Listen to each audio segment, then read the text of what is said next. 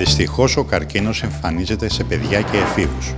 Περίπου 300 έως 350 νέα περιστατικά έχουμε κάθε χρόνο στη χώρα μας. Εδώ είναι η παιδιατρική και κλινική εφήβων της ογκολογίας του παιδών μητέρα, την οποία και έχω την τιμή να διευθύνω τα τελευταία πέντε χρόνια. Πότε εμφανίζεται ο καρκίνος στα παιδιά και ποιες είναι οι πιο συχνές μορφές του; Οποιαδήποτε ηλικία από τη γέννηση μέχρι και το τέλος της εφηβείας.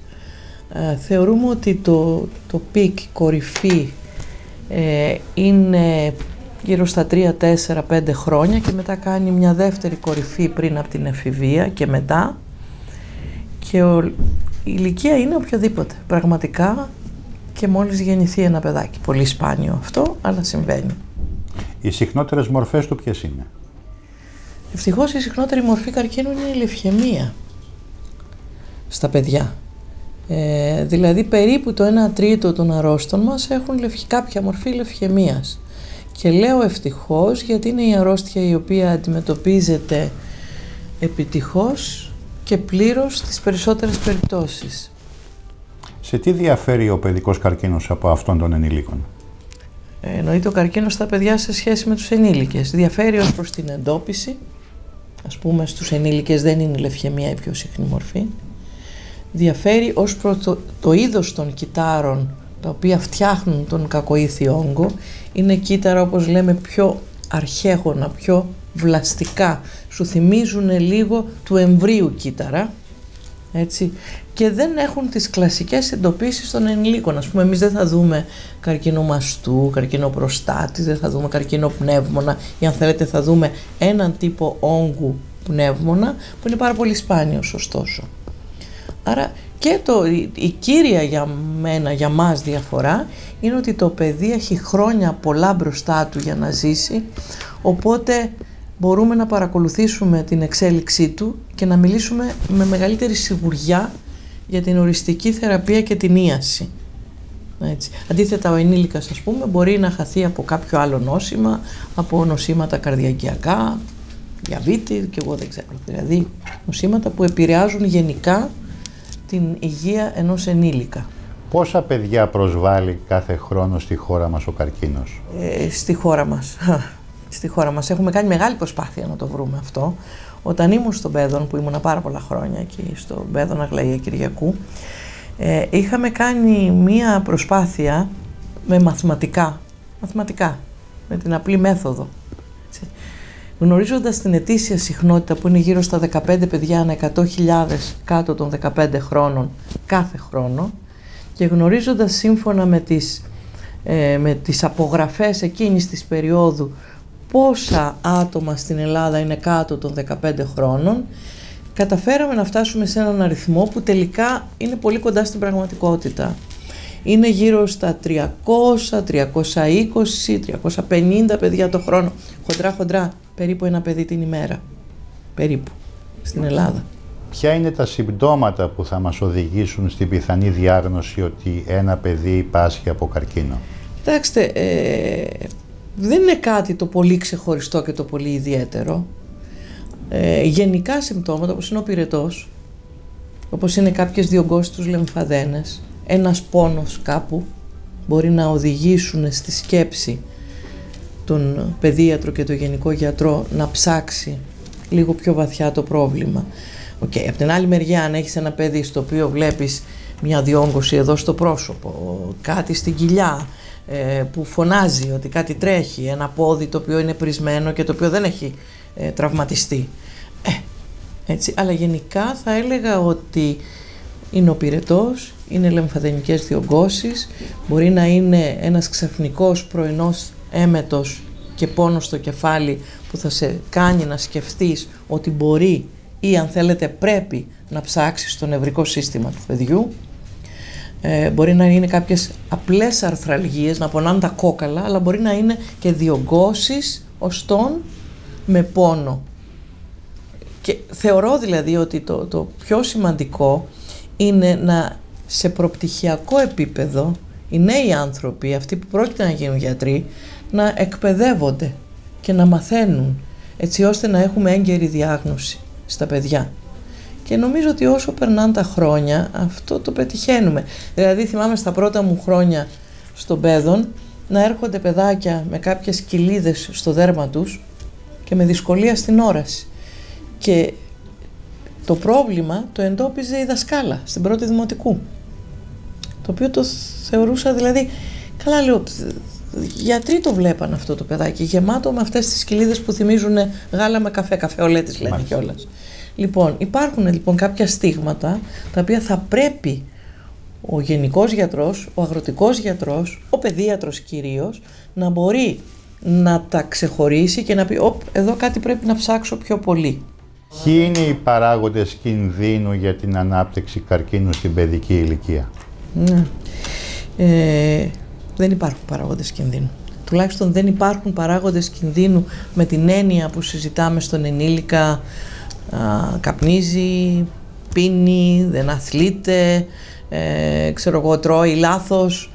Δεν υπάρχουν. Αυτό που όμως μπορεί να συμβεί σε ένα ποσοστό το οποίο πλησιάζει πια το 10%, δηλαδή ένα στα 10 παιδιά, μπορεί να υπάρχει μια κληρονομική προδιάθεση. Και αυτός ο αριθμός, ξέρετε, έχει περάσει από πολύ χαμηλά ποσοστά για να φτάσει το 10%.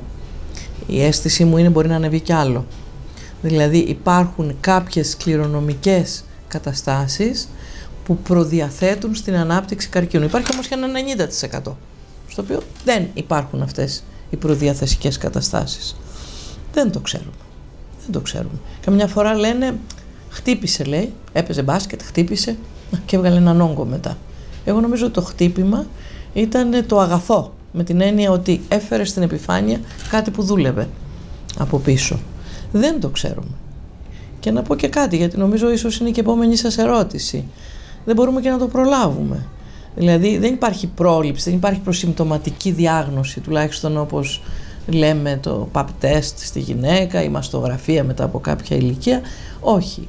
Νομίζω το καλύτερο προσυμπτωματικό για να τεθεί η διάγνωση είναι να ξέρουμε τα συμπτώματα και να έχουμε έγκαιρη διάγνωση. Όσο πιο νωρίς τεθεί η διάγνωση, τόσο τα αποτελέσματα όπως αναμένεται είναι καλύτερα.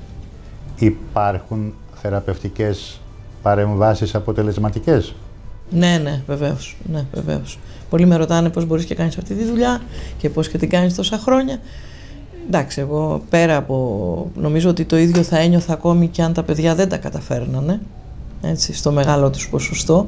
Θα έλεγα όμως ότι ο καρκίνος της παιδικής ηλικίας έχει αποτελέσει ένα πρότυπο για, για την ογκολογία των ενηλίκων ε, το πρώτο ας πούμε φάρμακο που χρησιμοποιήθηκε στον άνθρωπο χρησιμοποιήθηκε σε ένα παιδάκι στη Βοστόνη το 1948 πολλά χρόνια πριν ε, υπήρξε ένα πρότυπο πραγματικά ε, και βέβαια όσο περνάνε τα χρόνια και εμείς μαθαίνουμε από την ε, παθολογική ογκολογία όπως λέγεται medical oncology και εκείνη από εμάς.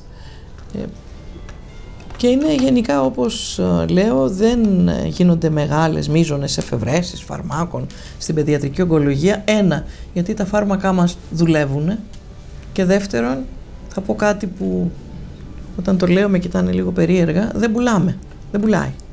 Μιλάμε για πάρα πολύ λίγα παιδιά. Μιλάμε για το 1% και λιγότερο του καρκίνου στον άνθρωπο αφορά τα παιδιά. Ξέρετε ότι στο Ευρωκοινοβούλιο πέρσι γινόταν μια μεγάλη συζήτηση για το πώς η COP Europe που είναι η Διεθνής Εταιρεία Παιδιατρικής Ογκολογίας με το παράρτημα της Ευρώπης ζήτησε βήμα για να δοθούν χρήματα από την Ευρώπη για την έρευνα. Και τους είπε, μα τι άλλο θέλετε να πετύχετε; Αυτό ακούσαν. Ήδη έχετε φτάσει σε ένα εξαιρετικά ψηλό ποσοστό. Πόσο; 80% των παιδιών μας. Και μάλιστα αν πάρεις επιλεκτικά μετά την πιο κλασική λευχαιμία πλησιάζει και το 90. Κάποιους όγκους του νεφρού 90 και. Ε, το λέμφωμα Hodgkin πολύ ψηλό. Κάποια άλλοι όγκοι πολύ πιο χαμηλά. Έτσι σαν μέση γραμμή φτάνουμε σε αυτό περίπου το 78 με 80% στην Ευρώπη και στην Αμερική. Όχι σε όλες τις χώρες όμως. Τι υπηρεσίες προσφέρει η κλινική σας εδώ στο Μητέρα; Κοιτάξτε, επειδή εγώ έζησα πάρα πολλά χρόνια στο νοσοκομείο παιδών, στο Αγλαία Κυριακού. Ε, το πρώτο που ήθελα στη ζωή μου όταν αποφάσισα να δεχθώ και να έρθω εδώ να ξεκινήσουμε την πρώτη παιδιατρική και εφηβική ογκολογική κλινική σε ιδιωτικό χώρο ήταν να μην ξεφύγω από τους κανόνες. Και αυτό μου δίδεται η δυνατότητα να το κάνω, να μην ξεφεύγω από τους κανόνες. Έτσι. Ε, από εκεί και πέρα υπάρχει, υπάρχουν συνεργάτες εξαιρετικοί και άμα ενδιαφέρεται κανείς για συνεργάτες μιλάει για τους παιδοχειρουργούς, για τους παιδοορθοπαιδικούς, ε, για τους ακτινοθεραπευτές, για τους παιδοακτινολόγους. Δηλαδή πραγματικά εγώ σπάνια νιώθω, τη νιώθω καμιά φορά, την έλλειψη της παλιάς μου δουλειάς. Ε, με καλύπτουν, μας καλύπτουν σε ένα μεγάλο ποσοστό. Και το πιο σημαντικό θεωρώ είναι το νοσηλευτικό μας τμήμα, το οποίο αυτή τη στιγμή, του οποίου μάλλον ηγείται μια νοσηλεύτρια με τεράστια πείρα στον παιδόν, στην παιδιατρική ογκολογική κλινική του Αγλαία Κυριακού, γιατροί οι οποίοι στελεχώνονται, δεν μπορεί ποτέ ένας άνθρωπος να κάνει αυτή τη δουλειά, χρειάζεται μια ομάδα, υπάρχει ψυχολόγος, υπάρχουν εργοθεραπεύτριες, παιδαγωγοί, μουσικοθεραπεύτριες και όλοι μαζί βάζουμε ο καθένας στο λιθαράκι του για να δώσουμε στα παιδιά όχι μονάχα το κομμάτι, το ιατρικό, το οποίο okay, είναι δεδομένο και πρέπει να το δώσεις με την καλύτερη του, πώς να το πω, όψη, με, τα, με τις καλύτερες συνθήκες, αλλά από την άλλη μεριά να μην ξεχνάμε ποτέ ότι το παιδί είναι πρώτα παιδί και ύστερα άρρωστος. Και ύστερα άρρωστο παιδί. Άρα πρέπει το παιδί να νιώθει, αν μπορούμε να πούμε, λίγο σαν το σπίτι του. Και νομίζω ότι το καταφέρνουμε. Όπως το καταφέρνουν και οι συνάδελφοί μου σε όλη την Ελλάδα, στα αντίστοιχα παιδιατρικά ογκολογικά τμήματα και δεν είναι λίγα αυτή τη στιγμή. Έτσι είναι τρία στον παιδόν, στα παιδόν και μία μονάδα μεταμόσχευσης τέσσερα, δύο στην Κρήτη και δύο στη Θεσσαλονίκη. Και εμείς είμαστε το 8ο παιδιατρικό ογκολογικό τμήμα πλέον. Και το μοναδικό στον ιδιωτικό τομέα. Ναι, προς το παρόν τουλάχιστον. Ένα παιδί το οποίο έχει θεραπευθεί μπορεί να αναπτύξει σε μελλοντική φάση της ζωής του πάλι καρκίνο; Ή να ζήσει μια φυσιολογική Ναι, είναι μια ερώτηση που πονάει πολύ, όπως και απάντηση πονάει, θα πω. Ε, ήμουνα πάρα πολύ νέα σε αυτή τη δουλειά, δηλαδή στην εκπαίδευσή μου ακόμη, όταν ένας κορυφαίος άνθρωπος από το νοσοκομείο παιδών α, της Φιλαδέλφειας της Αμερικής, τον οποίο χάσαμε το Σεπτέμβρη, σε μεγάλη ηλικία, ο Τζούλιο Ντάντζιο είχε πει κάτι πάρα πολύ πικρό αλλά αληθινό. Είχε πει «Cure is not enough». Δεν αρκεί δηλαδή να ιαθεί το παιδί από τον καρκίνο του. Και δεν το είπε έτσι τυχαία. Και πλέον δεν υπάρχει παιδίατρος ογκολόγος στον κόσμο που να μην γνωρίζει ότι ένα σημαντικό ποσοστό από αυτούς τους νέους ανθρώπους έχουν κάποια προβλήματα μετά. Εσείς με ρωτήσατε μόνο για καρκίνο. Εγώ θα σας πω ότι έχουν διάφορα προβλήματα. Έχουν προβλήματα με την καρδιά τους. Μπορεί να έχουν προβλήματα με την καρδιά τους. Με τους ενδοκρινείς τους αδένες. Ε, με την αύξησή τους. Ε, με τη δομή των οστών τους. Ε, ακόμη, ακόμη και με την νόηση αν αυτά τα παιδιά έχουν πάρει ακτινοθεραπεία, μάλλον αν αυτοί οι νέοι άνθρωποι ως παιδιά πήραν ακτινοθεραπεία στον αναπτυσσόμενο εγκέφαλό τους. Και έρχομαι σε αυτό που ρωτήσατε, ναι, μπορεί να αναπτυχθεί κάποιος άλλος καρκίνος. Ε, δεν συζητάμε για υποτροπή του πρώτου, είναι τελείως ξεχωριστό. Συζητάμε για αυτό που λέγεται διεθνώς secondary malignant neoplasm, δεύτερος, ανάπτυξη δεύτερου καρκίνου. Ναι, αυτό υπάρχει γιατί αυτό είναι, πώς να το πω, ο φόρος τιμής που πληρώνεις χρησιμοποιώντας δραστικά θεραπευτικά μέτρα, όπως είναι τα φάρμακα, τα οποία φάρμακα δεν χαϊδεύουν, σκοτώνουν, πολλαπλασιαζόμενα κύτταρα, τα ίδια μπορεί να προκαλέσουν μια βλάβη στο κύτταρο που επιβιώνει της τοξικής τους δράσης, η ακτινοβολία πολύ περισσότερο. Και σας μίλησα και για ένα κομμάτι της ομάδας των παιδιών μας, περίπου 10% σήμερα, που έχουν τα ίδια, έχουν λόγο να αναπτύξουν ε, καρκίνο. Έχουν δηλαδή ένα γενετικό ε, υλικό τέτοιο που είναι επιρρεπές στην ανάπτυξη καρκίνου. Άρα αυτοί είναι οι άνθρωποι, έχουν μεγαλύτερο κίνδυνο και από τον άλλο πληθυσμό. Ε, τώρα βέβαια σήμερα είναι μια ζυγαριά μπροστά μας και γι' αυτό όλα τα πρωτόκολλα, τα εξελισσόμενα πρωτόκολλα θεραπείας, τα καινούργια πρωτόκολλα θεραπείας, σε αυτή τη ζυγαριά από τη μια μεριά βάζουν τη ζωή, βαραίνει η ζωή, έτσι, αλλά από την άλλη μεριά λένε ναι ζωή, αλλά πρόσεξε τι θα δώσεις. Πρόσεξε τις δόσεις των φαρμάκων. Πρόσεξε ακόμη, ακόμη και τον τρόπο που χορηγείς το κάθε φάρμακο. Την ακτινοθεραπεία, εκεί που δεν χρειάζεται μην τη δώσεις. Και λοιπά. Υπάρχει λοιπόν αυτό που λέγεται ανάπτυξη άλλου καρκίνου, που θεωρώ ότι δεν θα σας πω αριθμούς, αλλά οι αριθμοί που σήμερα δημοσιεύονται στηρίζονται σε θεραπείες που εχορηγούνται τον καιρό που εγώ έκανα εκπαίδευση και ίσως και λίγο μετά. Τώρα γίνεται πιο καλό ξεκαθάρισμα του τι θα δώσω. Δηλαδή, πάρουμε χάρη στη λευχαιμία που είπαμε ότι τα ποσοστά είναι πάρα πολύ καλά, έτσι. Κάποιοι λένε, και αυτοί δεν είναι οι τυχαίοι άνθρωποι, είναι από τον Ντάνα Φάρμπερ της Βοστόνης, ότι θα εντατικοποιήσω το σχήμα μου, άρα δυνητικά μπορεί να περιμένω κάποια μεγαλύτερη τοξικότητα, εάν αν αναμένω από αυτό ναι μεν αύξηση της επιβίωσης, αλλά όχι αύξηση της τοξικότητας, αμέσως αμέσως. Έτσι. Ε, και αυτό πιστεύω ότι βοηθάει πάρα πολύ, γιατί θεωρητικά θα μπορούσες να προσφέρεις ίαση στο μεγαλύτερο ποσοστό των παιδιών, σε ακόμα μεγαλύτερο. Αλλά η τοξικότητα πρέπει να σου βάζει ένα φρένο. Άρα δεν είναι απλά τα πράγματα. Θέλει πάρα πολύ έτσι πώς να το πω.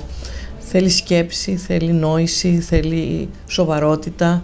Πρέπει να ακολουθείς θεραπευτικά πρωτόκολλα και νομίζω ότι αυτό επίσης είναι που κάνει την παιδιατρική ογκολογία ξεχωριστή. Είναι ότι το 90% των παιδιών μας θεραπεύονται σύμφωνα με διεθνή πρωτόκολλα. Και η Ελλάδα είναι σε θέση να το κάνει και η Ελλάδα συμμετέχει επίσημα και αναγνωρισμένα και ισότιμα σε πολλά, όχι σε όλα, σε πολλά από αυτά τα πρωτόκολλα και πραγματικά μαθαίνουμε από αυτή τη συμμετοχή. Μαθαίνουμε πολλά. Ποια είναι η συμβουλή που δίνετε στους γονείς ενός παιδιού που φεύγει από την κλινική σας θεραπευμένο; Μη σε χάσουμε. Έτσι. Και να πω, μια και έτσι κάνατε αυτή την πάσα, να πω ότι ένας από τους ε, λόγους που όταν μου ζητήθηκε και ρωτήθηκα για να έρθω εδώ ε, θυμάμαι μια ερώτηση που μου είχε, είχε γίνει τότε από την τότε διοίκηση είναι πείτε μας τι δεν μπορούσατε να κάνετε στον παιδόν και τους είχα πει δύο πράγματα δεν μπορούσα να φροντίζω τον έφηβο μέχρι τα 18 του και δεν μπορούσα να παρακολουθώ τα παιδιά που ενηλικιώνονται και που θεωρώ ότι ο παιδίατρος ογκολόγος ξέρει τις αρρώστιες τους καλύτερα από τον καθένα. Και τότε πήρα μια απάντηση, δικά σου και τα δύο.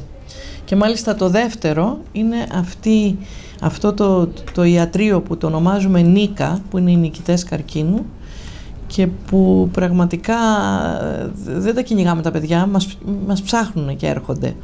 Και εντάξει, θέλει πάρα πολύ δουλειά, θέλει πάρα πολύ οργάνωση, αλλά τα καταφέρνουμε. Λοιπόν, άρα η συμβουλή είναι θέλουμε να σε βλέπουμε, θέλουμε να σε παρακολουθούν, να σε παρακολουθούμε, Μία από τις μεγαλύτερες χαρές μου εδώ μέσα, επειδή υπάρχει και με ευτήριο, είναι να έρχονται και να μου λένε «Γεννάει η γυναίκα μου σήμερα» ή «Γεννάω εγώ σε πέντε μέρες».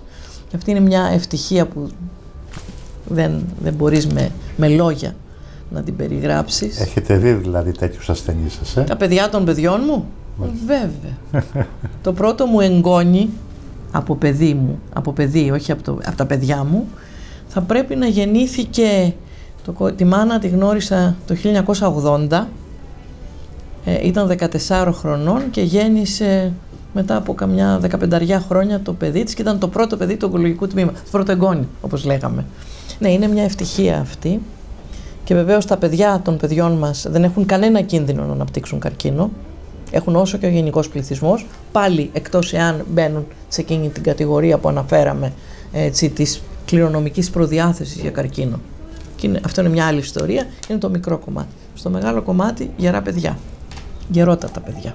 Μάλιστα. Πολύ ωραία. Σας ευχαριστούμε πολύ. Εγώ σας ευχαριστώ. Να είστε καλά.